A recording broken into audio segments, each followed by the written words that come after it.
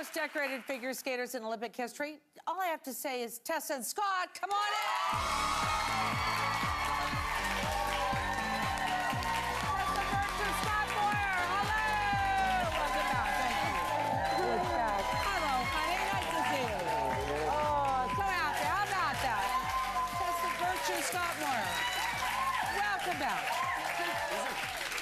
You know, I was going to do this long intro, and I thought, well, they know who you are. That just everywhere you go, do you get stopped a lot? We haven't actually been in Canada. We've been in Japan for the last two Oh, months. yeah, yeah, yeah, so- yeah. Because last time I talked to you, you co-hosted the show with me, and then you were off and running on this That's major right. tour. Yeah, That's right. Yeah. yeah. So it's been busy. It's so nice to be back in Canada. It's so Um, nice to be back here with you. Yeah, Thanks thank for having you so us. much. Thank you, and thank you, Canada tour. Tell us about that. Oh my gosh.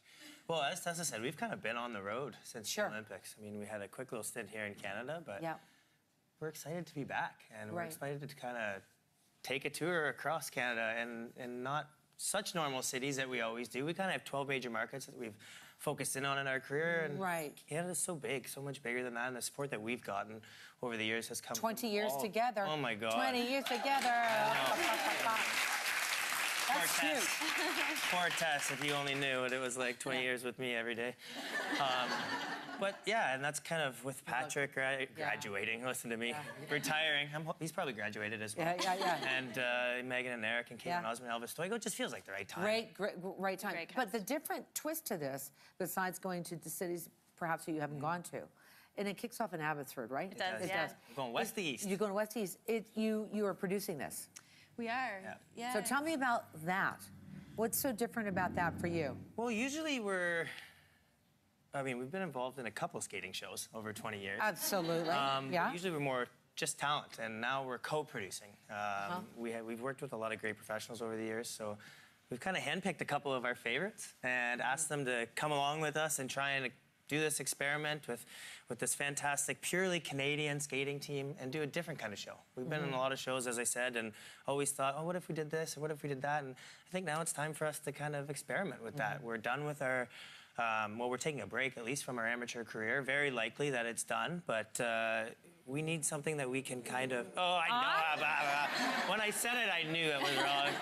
Um, but you heard it here first, folks. we, well, kinda. we, we want to do a project that we're all in Yeah. for, much like we were for our Olympic uh, Yeah. experience, our Olympic performances, and for this uh, tour, that kind of checks those boxes. So It it's an does. It sounds uh, like it too. Project. So this, I congratulate both of you for the 20 years and everything that you've accomplished. How, you're so loved in this country. So that's awesome. Kind of opposite. You spent 20 years away from your significant other and then reconnected. How about 42? Oh my 42. goodness. That, let's not talk about That me. doesn't even seem. That is- That's a that 40, so 42 so years. Yeah, yeah, for you. thank you, thank you. Yeah, but you know, it's it's like when you work together. Now, let's talk about a significant other that I have that I've been working with for 33 years on the radio. You really get to know one Right. another, right? You're almost like it, like in your case, like brother and sister, uh, uh, uh, uh, skate husband, skate wife. Kind of. It's- It is uncanny how much, with just a look. that you can read it. So, am I right? Yeah. I don't know. We, But you know, it's that it's such a connection a lot of people don't get. You know, we're so fortunate that we have gotten that, and, and we've worked hard to sort of cultivate and nurture that partnership. Um, but, you know, in those moments of intense pressure and stress, that sort of reassurance is Yeah. everything. It's such a pillar of strength for us. Yeah, that's so great. Now, do you have time? To, we're going to do this game really quickly. Okay. It's time to play. Who is most likely? Get out your little. Okay, packets. here we I'm so excited about Let's these really. Okay, paddles. ready? Okay. I don't know if you're going to like this question, Scott. I don't know.